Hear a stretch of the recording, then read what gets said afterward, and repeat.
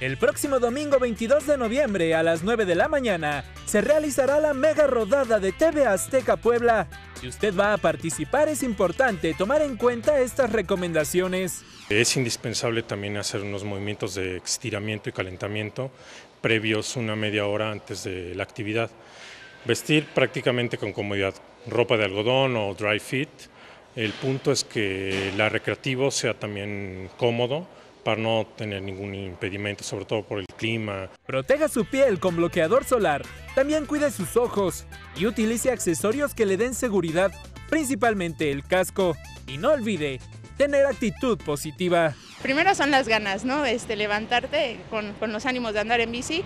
Este, pues en segunda utilizar este, pues todos los, los utensilios para que esté seguro, como es el casco, pues no sé, por ejemplo yo utilizo gafas para protegerme este, contra el sol, eh, no, no llevar tus audífonos puestos, eh, llevar una botella de agua, llevar tus luces. Lexi además porta herramienta para reparar posibles averías en su bicicleta, por ejemplo pinchaduras, o para ajustar la cadena, el manubrio, los frenos o pedales. Y para que no sea difícil el recorrido, también es importante que su alimentación mejore durante la semana previa con el plato del buen comer.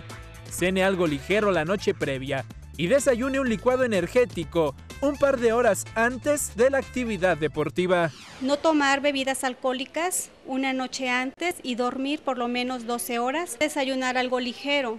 Podría ser, por ejemplo, un licuado energetizante de leche descremada con almendras, avena y miel. Eso nos va a dar una fuerza para una actividad. Durante el recorrido mantenga su cuerpo hidratado y así su paseo será agradable y sobre todo seguro. Con imágenes de Fernando Bravo, Uriel Corres, Azteca Noticias.